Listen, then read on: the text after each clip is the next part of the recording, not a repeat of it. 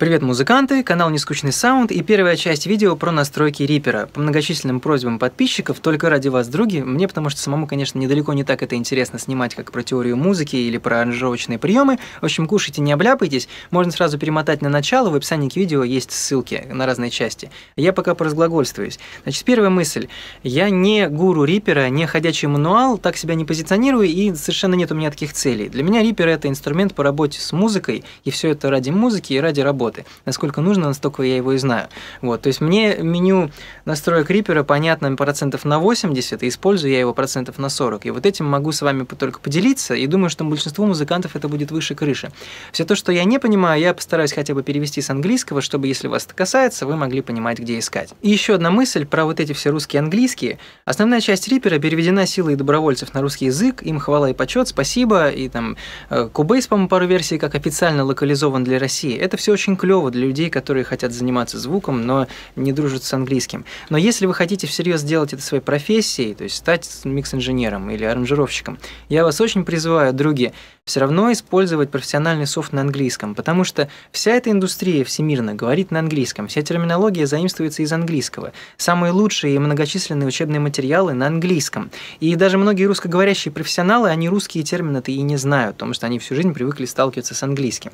Вот. И тут нечего бояться, потому что а, работать в софте на английском это не так сложно, как говорить по-английски или понимать английскую речь или иметь клевое произношение. Просто все это сводится к тому, что выучить там сотню слов, терминов каких-то связанных со звуком.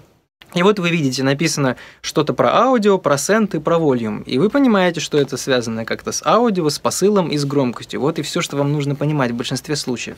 Так что не бойтесь, фигачьте по-английски. И последнее. В YouTube комментарии, в которых будет четко, емко, конкретно указываться на мои ошибки, на то, что я неправильно объяснил или то, что я упустил, эти комментарии я буду закреплять в топе вот этим сердечком ютубовским, идиотским. Так что со временем в топе комментариев, скорее всего, скопится тоже очень полезная информация, можете посмотреть. Ну и все, понеслась. Итак, general, основные. Здесь у нас language, выбор языкового пакета. Если вы поставите там русский какой-нибудь, то здесь он у вас появится. Честно говоря, я никогда этого не делал. Значит, импорт-экспорт конфигурация. Начнем с экспорта. Можно взять и все то, что вы настроили, все пресеты, цепочки эффектов, расположение окон, настройки плагинов, то есть все, все что угодно, картиночки можно экспортировать Таким вот образом, мы сюда нажимаем, и он спрашивает, что именно будет входить в эту экспортируемую конфигурацию. Вот, что есть конфигурация? Это вот как раз какие плагины там входят, всякие какие-то внутренние. Я не знаю точно, потому что я экспортирую конфигурацию обычно целиком. Ну, в общем, это, грубо говоря, можно сказать, настройки Reaper. Точно настройки, вот, в которых мы ковыряемся, сюда входят. Потом color themes, да, это темы. Пресеты плагинов, цепочки эффектов, если вы их сохраняли, эффекты JS, которые в папке с JS-плагинами, потому что их можно ставить, те, которые не входят изначально в Reaper, потом темплейты, то есть эти шаблоны проектов, miscellaneous data — это вот у нас иконки, а, тулбарные иконки, и еще я вижу какие-то настройки для джойстика, гаммы разные, молодые, и импульсы кабинетов для JS-плагинов э, гитарных. Cursors and Keymapes, честно говоря, не знаю, что такое, потому что Actions, вот есть Actions and Keybarring с горячей клавиши, вот. Так, меню и тулбары, понятно, их настройка расположения. Меню Sets — это то, как у вас настроены менюшки, всплывающие по правому клику, и вверху вот эти, что в них влезает. Так, Channel Mappings. А, не хочу соврать, по-моему, это то, как Reaper видит вас выходы и входы вашей звуковой карты. Так, скрипты, вот языковые пакеты — база данных Media Explorer, то есть вы можете в Reaper создавать э, пути к папкам с вашими сэмплами, с какими-то заготовками, с чем-то таким. Так, веб-интерфейс. Это касательно веб-интерфейса, я про него ничего не знаю. В общем, мы все эти галки выбрали, жмем Save, э, находим какое-то место, куда мы сохраняем этот файл, э, и сохраняем его. Это может быть нужно для того, чтобы с кем-то поделиться своей конфигурацией, либо чтобы, допустим, запомнить ее состояние перед тем, как вы хотите делать какие-то серьезные эксперименты. И вообще лучше это периодически делать, чтобы если у вас что-то случится с компьютером, там, не знаю, у вас была возможность восстановить все свои любимые настроечки, потому что вся кайфовость Reaper, конечно, в том, как можно его настроить. Делается так, мы нажимаем на импорт и выбираем конфигурацию, а, где там у меня на Google Drive, по-моему, вот у меня есть конфигурация — я ее выбираю, нажму на Open, она у меня спросит, что именно из того же самого списка я хочу импортировать, я все это импортирую, и у меня все встанет. Затем настройки с undo, отменой действий. Максимально используемая для undo память 256 мегабайт. Э, мне кажется, это дохренище для undo. Э, вот. И можно здесь это уменьшить и увеличить. Я с этим никогда не имел никаких проблем. Затем такая вещь, как включатели в undo, такие действия, как выделение айтема, трека, линии автоматизации, времени, time selection или курсора. Вот смотрите, у нас есть здесь view, undo history. Вот все произведенные в проекте действия в этой сессии. Вот если у нас галка на айтеме стоит изначально, то каждый раз, когда я выбираю разный айтем или снимаю выделение айтемов, у меня здесь создается э, undo шаг. Затем, а если я выбираю треки, то undo шаг, как мы видим, здесь не создается, потому что нету галки на трек. Если галка на трек есть, apply, то каждый раз при выборе трека создается undo point. Точно так же при выборе какой-то точки на авто линии автоматизации, вот это я их создал, теперь, когда их выбираю, это разные, то есть изменения э, выбранной точки на автоматизации. Так, снимаем это. Потом time. Это у нас э, создание time selection. Хоп. Каждый раз, когда мы создаем time selection, создается undo point. Э, и курсор если эта настройка стоит, то каждый раз, когда мы двигаем курсор, создается точка возврата. И там есть, видите, какой определенный буфер, то есть если я много-много-много-много-много-много-много-много-много кликаю, то только по окончанию будет создана новая точка. Это довольно, наверное, удобно. Но, честно говоря, я вот это все э, не использую. Следующая галка. Когда вот эти вот выбранные 256 мегабайт на undo memory заканчиваются, чем жертвовать? По дефолту убираются какие-то точки из середины, то есть самый первый undo point сохраняется. Вот. А если поставить эту галку, то при выходе за лимиты будут удаляться самые старые точки. Вот и все. Так, сохранение истории undo вместе с проектом. Прямо внутри файла проекта. Чем это хорошо? Тем, что вы можете открыть проект, и в нем будут сохранены все действия, которые у вас были до того, как вы его закрыли. То есть, допустим, перед тем, как закрывать проект, вы совершили какую-то трагическую ошибку, и теперь вы, открыв его, сможете ее устранить. Но оборотная сторона то, что все вот эти 256, допустим, мегабайт undo будут храниться в файле проекта, и сохраняться он, скорее всего, будет крайне долго. Я этой фичей никогда не пользовался, честно говоря, не вижу смысла. А, вот эта галка я не совсем понимаю, что она делает, могу вам только перевести. Внизу вот всплывает подсказка. Загружает историю undo с диска при открытии проекта. Что бы это ни значило. Следующая галка — сохранение нескольких путей undo — из нескольких историй. Я этим никогда не пользовался, потому что мне не нравится то, что написано в скобках про использование большего количества памяти. В пояснении написано, дает вам больше вариантов, когда вы откатываетесь назад по шагам, но использует действительно больше памяти. Вот, сори, други, но я этим не пользовался никогда. Итак, санду закончили. Что делать, когда Reaper запускается? По дефолту стоит Last Project Tabs, то есть какие проекты были у вас открыты, при закрытии Reaper такие же и откроются. Варианты другие. Открыть один активный последний проект, в отличие от нескольких вкладок возможных. Затем новый проект, игнорируя дефолтный шаблон, с этим шаблонами разберемся, или просто новый проект, соответственно, по шаблону, который вы установили как э, шаблон по умолчанию. И э, всплывание диалогового окна. Вот этим вот пользуюсь я. Всплывают при открытии варианты. Вот это последние открытые проекты, новый проект без темплейта, новый проект по темплейту — и список недавних проектов. Он довольно там длинный может быть. Затем галка «Автоматически проверять, есть ли новая версия Reaper при запуске Reaper». Эта галка говорит создавать новую вкладку проекта, когда вы перетягиваете из Finder или Explorer какой-то медиа-файл а, сюда, но он работает, она не так, как я предполагаю, потому что вот мы сюда перетягиваем аудиофайл, он вставляется в проект и не, и никуда, не создается новой вкладки, вот, куда бы я и не вставил. Вот, но если мы перетянем сюда какой-нибудь проект, допустим, то он предлагает мне вставить в проект как медиа-айтем, то есть это субпроект, об этом вообще потом, открыть этот проект э, вместо э, ныне открытого проекта и открыть в новой вкладке. То есть мы открываем в новой вкладке и получаем, что у нас вот две вкладки проекта. И тут льются слезы тех, кто работает в программах, которые не могут открывать сразу несколько проектов. Итак, и показывать ли splash screen при запуске Reaper а, то есть вот эта картиночка, когда Reaper, логотип Reaper а и все-то там крутится, речь о ней. Можно ее убрать и даже где-то можно ее заменить, не помню где. Затем, вот в списке недавних проектов, сколько там будет их максимум, по дефолту 50, максимум 100. Кнопочка Clear List, она все это дело снесет. Зачем это может быть нужно? Когда вы импортируете чью-то конфигурацию целиком, то вам и этот список недавних проектов импортируется. Естественно, это будут все битые адреса файлов, то есть можно взять это дело почистить. Здесь можно включить предупреждение, которое будет всплывать, когда Reaper начинает использовать какое-то количество памяти. 0 эту функцию выключает. Дальше кнопочка «Продвинутые настройки и твики юзер-интерфейса» жмем. А, вот здесь можно заменить а, splash screen, то есть ставить изображение другое. Автоматически прятать док, когда находимся в полноэкранном режиме, но сейчас мы находимся в полноэкранном режиме, и док никуда не прячется. Видимо, что-то я неправильно понимаю, но мне от этого ни горячо, ни холодно. Дальше галка. Масштабировать элементы э, пользовательского интерфейса, кнопочки и картиночки. Изначально стоит масштаб к 1 к 1. Давайте мы попробуем сделать 1,5. Перезапускаем.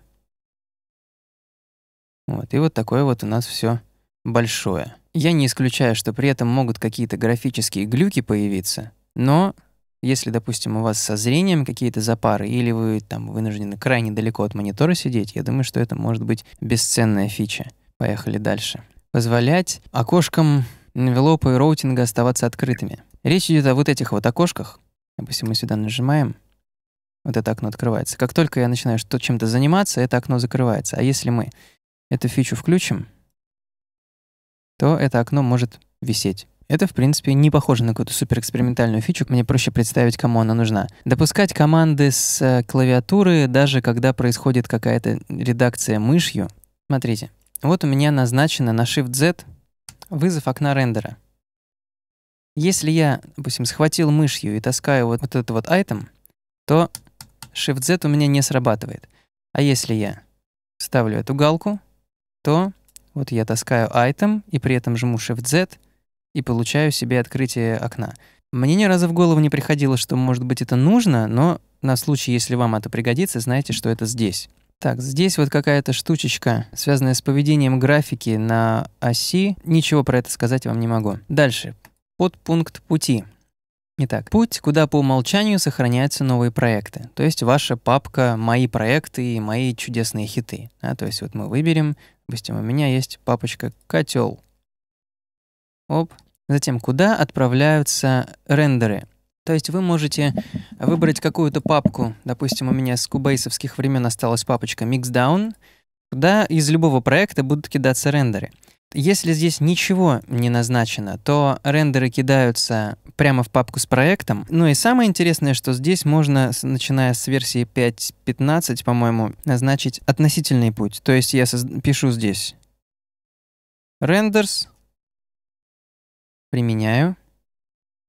И теперь, когда я хочу чего-то зарендерить, то мы видим, не ввожу никакой адрес, и уже прописывается котел, название проекта, подпапка renders. И здесь вот уже имя файла, которое введено у меня чуть выше. То есть это очень удобная фигня, именно так я пользуюсь. Мне кажется, это оптимально, что все рендеры сохраняются в подпапку внутри проекта. Затем, по умолчанию, путь, куда записывается аудио, бросаются видео, файлы, там, изображения, все, что у вас есть в проекте. Здесь ну, точно так же, если ничего не введено, то это бросается в папку с проектом, вы можете ввести конкретный адрес, либо можете относительное выбрать, допустим, медиа. Хлоп, и теперь любой файл, который создается внутри проекта или перетаскивается в него, будет оказываться в подпапке медиа внутри проекта. Очень удобно. Вот. Затем можно исключить, если вам это интересно, такую штуку, что пики аудиофайлов будут сохраняться в отдельное какое-то место. Если вы прям так заморачиваетесь какой-то организацией файлов, я этим никогда не пользовался. И, и сюда можно ввести несколько еще путей,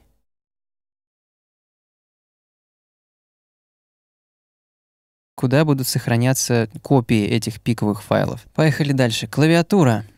По дефолту стоит галка. Внизу объяснение такое. В некоторых полях редакционных не надо ждать Enter, а просто после секунды бездействия данные будут введены. Я хз, где эти поля, можете поэкспериментировать. Вот это вот важная фича.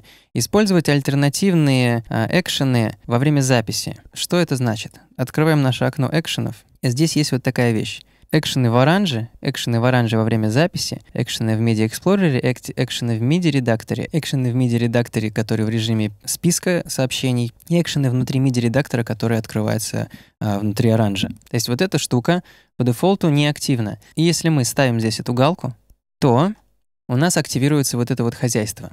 Отдельные экшены во время записи. То есть в тот момент, когда происходит запись, работают другие экшены. Зачем это нужно? Что мы можем создать следующий custom action. Мы назовем его re, record, из чего он будет состоять. Transport stop и delete all recorded media. То есть останавливаем и удаляем все то, что записали. Следующее действие — транспорт запись. Вот, мы назначаем на него какую-то клавишу. Допустим, вот в обычном режиме у нас Command-R означает запись. А в экшенах во время записи мы назначим Command-R на перезапись. Вот у нас есть канал, Нажимаем Command-R, поехали записывать.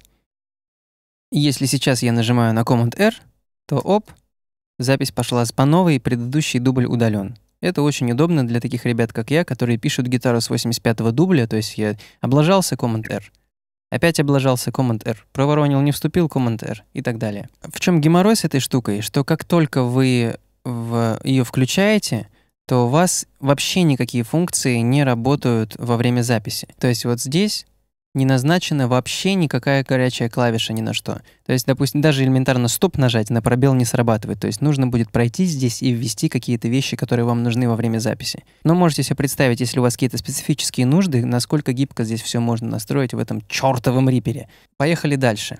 Это для пользователей винды, в которой, если нажимаешь или держишь Alt, то фокус прыгает вот в эти вот менюшки наверх. Эта фича предотвращает такое поведение. Вот это ссылка на окно экшенов, а вот это возможность увидеть в Explorer все ваши горячие клавиши назначенные. Можете себя распечатать и в туалете читать, запоминать либо поделиться с кем-либо. Так, дальше касательно тех, кто на... использует всякий мультитач, Ничего про это не знаю, но могу вам просто перевести. Позволить свайп, то есть пальцы-провод, отобразить его в обратную сторону. Точно так же зум допустить и отобразить его. Что-то связанное с инерцией, ничего не понимаю, сори. Кручение, верчение мультитачевое тоже отобразить, и тоже его можно как-то засупоресить. Затем введение буферов в 100 миллисекунд или в другое количество времени, чтобы не, не происходило скролла после каких-то жестов. Вертикальный скролл отобразить на 180 градусов, горизонтальный тоже отобразить. Это, опять же, ссылка на окно экшенов. Дальше поехали. Настройки проекта. Самое первое, какой шаблон проекта использовать как стартовый по умолчанию. То есть давайте мы сделаем вот этот наш шаблон по умолчанию. Вот так вот у нас будет выглядеть. Мы зайдем в настройки проекта, здесь чего-нибудь там себе покрутим, допустим, сделаем фриз на 32 бита, как советуют умные дяденьки, и что-нибудь здесь введем в настройки видео, какие-то вещи, которые по-любому нам нужно, чтобы были в изначально создаваемом проекте. Вот у нас 4 есть канала. Теперь мы жмем File, Project Templates, то есть шаблоны проектов, Save Project as Template, сохранить этот проект как темплейт. Значит, он у нас будет называться Tabula Rasa, то бишь чистый лист. Отлично, теперь мы возвращаемся в наши настройки, жмем Browse, и вот у нас, он нас сразу кидает в шаблоны. Здесь у нас есть Tabula Rasa, замечательно, Apply. И теперь, когда мы сделаем новый проект, этот сохранять не будем. Опачки, наш новый проект вот выглядит вот так вот. Вернемся обратно. Дальше важная галочка. При создании нового проекта сразу попросить его сохранить. Это очень полезная галочка, чтобы не случилось так, что вы в творческом порыве создали проект, чего-то в нем понаделали, а потом вы его и не сохраняли, и он упал, и вы не знаете, где он лежит, в каких временных файлах и так далее. То есть эта штучка очень полезная. Когда мы ее включаем, то жмем New Project, и нам сразу предлагают его куда-то сохранить. И здесь, кстати, раз уж пошла пьянка, смотрите галки. Если я сейчас вот просто ни одна галка не стоит, введу название проекта, то он создастся у меня внутри моей папки с проектами, и тут начнется бардак. Вот. Но если я ставлю create subdirect, создать поддиректорию для проекта, то я сделаю так, и у меня создастся папка ла-ла-ла, внутри нее будет проект ла-ла-ла, и там все вот эти аудио, медиа, рендеры и так далее. Очень полезная фигня. А если я сохраняю новую версию проекта внутри проекта, то мне не нужно по папку внутри папки, и эту галку уберу. Эта галка а, скопировать все медиа э, в новый проект. Это, допустим, вы сохраняете новую версию проекта в другой папке, и вам нужно, чтобы а, аудиофайлы сохранились при нем, они относились куда-то в предыдущую папку, которую потом вы удалили, и все, проекта у вас нет. И это возможность при копировании конвертировать еще все это аудио в формат, который вы пожелаете. Вот такая вот чудесная гибкость. То есть, допустим, вы делаете какие-то прям на черный-черный день на всякий случай бэкапы, вы можете просто взять и все превратить в MP3. Эм да, то есть иметь очень-очень легенькие бэкапы всех проектов. А это уже не копировать, а переместить все аудиофайлы в новую папку проекта. Ну, это опасно тем, что в старом месте они могут, собственно, и пропасть. И это при создании нового проекта сразу же открывать настройки проекта, то есть какие-то вещи. То есть вот это вот окно, Project Settings, оно будет сразу же после сохранения нового проекта у вас появляться, чтобы вы тут настроили, что вам нужно, частоту дискретизации и так далее. Дальше, настройки загрузки проекта.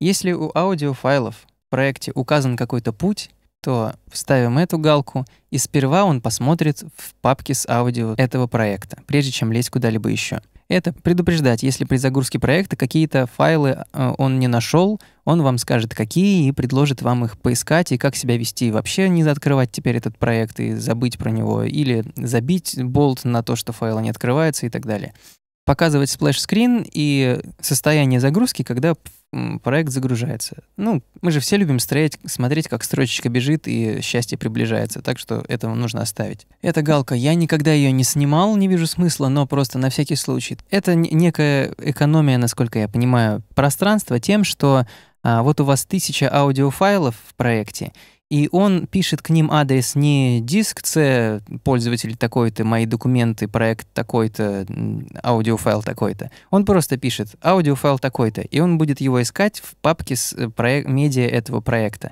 И полный адрес будет прописывать только для тех файлов, которые находятся в другом месте, на другом диске и так далее. Дальше э, хитрые штучки по поводу бэкапов. Первая галка, которая у меня стоит — как только вы сохраняете проект, то есть вы переписываете файл с проектом, он создает на всякий случай один бэкап и предыдущую версию этого проекта прямо рядом с ним.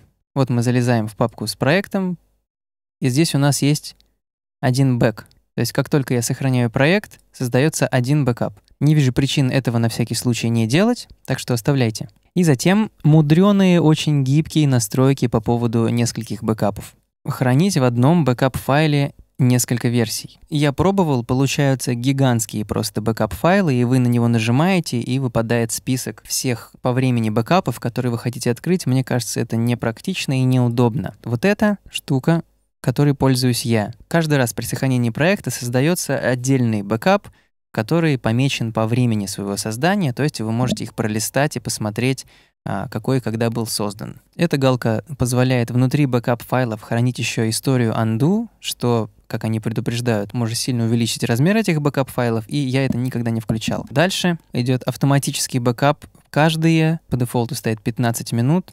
Ставьте, ребят, минут поменьше, потому что здесь надо ставить поменьше, потому что всякое бывает. Мы все любим Reaper, но он, ребята, тоже падает. У меня, по крайней мере, падает. Реже, чем Cubase, раз в 25, но достаточно одного неудачного падения, чтобы сильно загрустить и что-то потерять. Поэтому здесь лучше поставить там 3 минутки, допустим.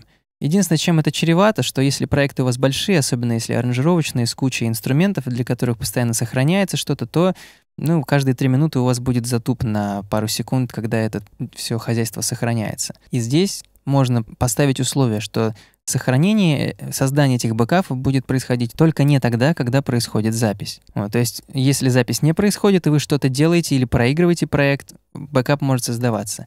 А если вот так поставить, то бэкап будет создаваться только тогда, когда проекты не проигрываются вообще, то есть полная остановка.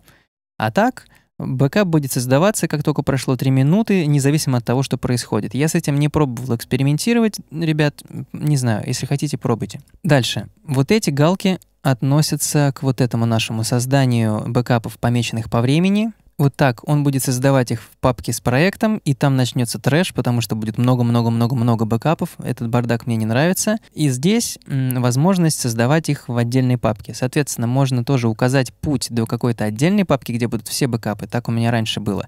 А теперь, когда в Reaper можно относительные адреса вводить, то мы просто создаем, здесь пишем бэкап, и внутри папки с проектом создаться папка бэкап, в которую будут сохраняться бэкапы. Вот это для экстремальных пацанов галочка, то есть создаваться будут не бэкапы, а будет сохраняться ваш проект, переписываться. Не знаю. Это, знаете, для тех, кто любит играть в игры, где если ты умер, то ты умер навсегда и все потерял, и нужно начинать игру понач... сначала, как Контра 20 лет назад. Так что, если хотите, вот вам эта галочка, будьте хардкорным музыкантом. Это что-то тоже про сохранение анду куда-то, я не совсем понимаю. И здесь опять же в скобках помече... помечено, что система может быть не очень отзывчива при таких настройках. Я сюда не лезу. И вам без особой нужды не советую туда лезть тоже. Дальше. Дефолтные настройки треков и посылов. Итак, вот это вот этот прямоугольник, что у нас изначально включено на канале, когда он только появился. Очень удобная фигня. То есть изначальный э, фейдер на нуле мы можем сделать здесь, допустим, минус 9. И когда мы создаем новый канал, как мы видим, у него volume минус 9. Дальше. Какие по дефолту будут видны линии автоматизации? То есть изначально не включены никакие. Если мы все вот эти галки сейчас поставим здесь, apply, то мы создаем новый канал, и у него сразу же все вот это видно. То есть если вы всегда везде крутите линию автоматизации громкости, то почему бы ей изначально и не создаваться? Форма линии автоматизации. Линейная, квадратная, медленное начало, быстрый конец, быстрое начало, быстрый конец и без, не знаю, как эта штука называется. О чем речь? Вот смотрите, форма. Она не линейная, но у нее здесь присутствует некоторая такая плавность. Это, наверное, фамилия дяди, который придумал. Не хочу ее коверкать. У меня по дефолту все равно стоят линейные, и я не заморачиваюсь. Надо признать, что я не король автоматизации. Дальше поехали. Дефолтное состояние автоматизации. То есть мы, ну, оно изначально у нас просто в режиме чтения, но мы можем поставить любую, допустим, write, допустим, write, и при создании нового канала он уже в режиме записи автоматизации. А, дефолтная высота треков в новом проекте. Это не влияет на то, какого размера создаются новые треки уже в текущем проекте. То есть, как мы видим, новый трек все равно создается такого размера, как, исходя из текущего масштаба. Итак, а, дальше галочка «Показывать ли новый канал в микшере?». То есть, если она снята, то вот у нас внизу микшер, я создаю новый канал, в микшере он не появился, пока я его, этого не приказал. Дальше, отправка на, на main или на, или на канал, который является родителем в текущей папке. Это, вот этот вот зеленый огонечек, который вот здесь горит, он означает, что посыл идет на мастер. То есть сигнал с этого трека идет на мастер, а если этот трек внутри папки, то сигнал из него идет на папку, а уже папка идет на мастер. Вот. Такое поведение мы можем выключить, нажав вот эту галку. Мы создаем новый канал, и как мы видим, он не, не сейчас не идет никуда. И мы уже можем нажать и решить, что ты пойдешь на мастер, или ты пойдешь на такую-то шину, или на такой-то канал полетишь, либо ты сразу же, не звуча в проекте, полетишь на какой-то выход звуковой карты. В каких-то роутинговых ситуациях это бесценная фигня. И, кстати, Alt-клик на эту кнопулечку, включает и выключает parent send. И группой тоже. Дальше поехали. По дефолту включает э, на новом канале свободное расположение айтемов, их совместное звучание. Что это такое? Вот мы создаем новый канал. Здесь это такое поведение. Мы айтемы свободным образом располагаем. Они все будут вместе звучать, даже если это аудио. Опять же, посмотрите, возможно, для каких-то ваших нужд это будет очень полезная штука. Дальше. Record Arm. То есть при создании нового канала у него будет уже гореть кнопочка, что он готов к записи. И, и каковы будут настройки записи этого нового канала? То есть режимы мониторинга входящего сигнала.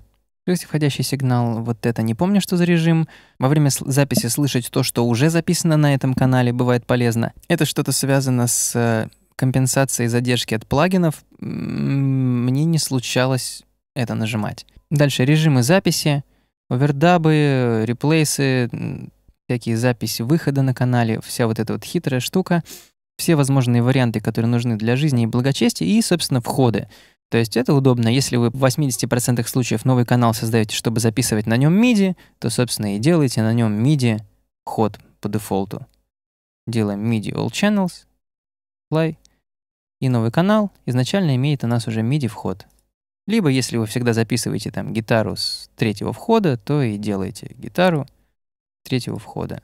Новый канал создается, уже назначена запись на с третьего канала. Дальше масштабирование линий автоматизации громкости. Что это означает? Смотрите, когда у нас вот такая настройка, то новая линия автоматизации громкости показывает 0 дБ и находится посередине, то есть вверх у нас плюс 6, а вниз уже минус много. То есть у нас высокая мелкая точность при прибавлении и довольно все лихо при убавлении. А если мы делаем вот так и создаем новый канал, то у нас вот такая вот история. У нас на 6 дБ прибавление вот тут чуть-чуть наверх, а убавля... при убавлении гораздо большая точность на квадратный сантиметр. Вот, подумайте, как вам более удобно, попробуйте по-разному.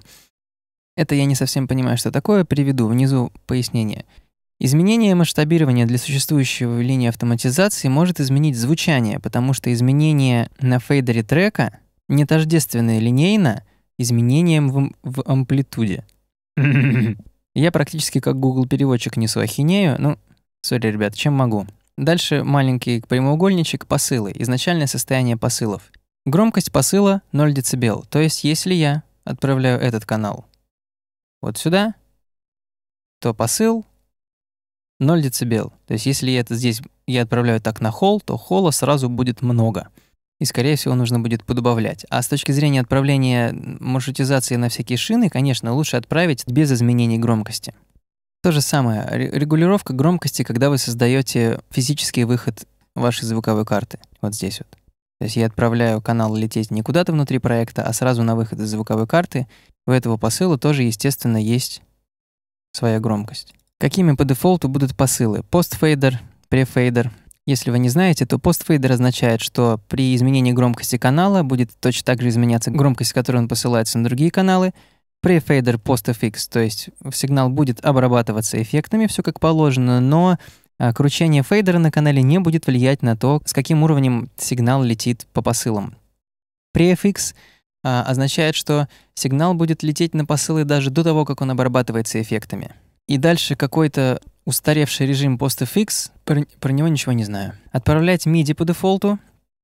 Здесь вот отправляю я сюда. И как мы видим, вот здесь вот у меня летит аудио 1.2 к 1.2, и MIDI летит тоже. Если я убираю эту галку отправление MIDI по дефолту, то при создании посыла MIDI не отправляется. То же самое с аудио. Если эту галку убираю, то при создании посыла вообще изначально у меня ни MIDI, ни аудио не шлется, и я сам тут уже решаю, что куда полетит. Следующий подпункт — дефолтное состояние медиа-айтемов. Самое первое — создавать автоматический микроскопический фейд на аудио-айтемах. То есть он стоит вот такой, это 10, я не знаю чего, тысячных, 10 миллисекунд. Давайте мы вставим какое-то аудио и посмотрим. Вот. То есть оно вполне себе нормальненькое, но здесь создается на самом деле малюсенький фейд, то есть это может помочь с какими-то щелчками, какой-то такой ерундой. Следующая галка. При разрезании айтема делать на этом месте их пересечение и кроссфейд. То есть если я сейчас здесь этот айтем режу, то у меня здесь применяется вот эта верхняя настройка. Давайте теперь я ее убираю. Режу. Ничего не произошло. А если я включаю вот это, оп, перережу, видите, что произошло? Они один на другой наслаиваются, и в этом месте небольшой кроссфейд. Возможно, если вам приходится делать эти маленькие кроссфейды 800 раз в день, то эта галочка освободит вам 800 нажатий мыши. И этой освободившейся энергией пальца вы сможете причинять себе какое-нибудь удовольствие. Это дефолтная форма кроссфейда, то есть я могу сделать вот такую, и для нового айтема, который создается, вот такая форма фейда. И точно такая также изменяем форму кроссфейда на выбранную.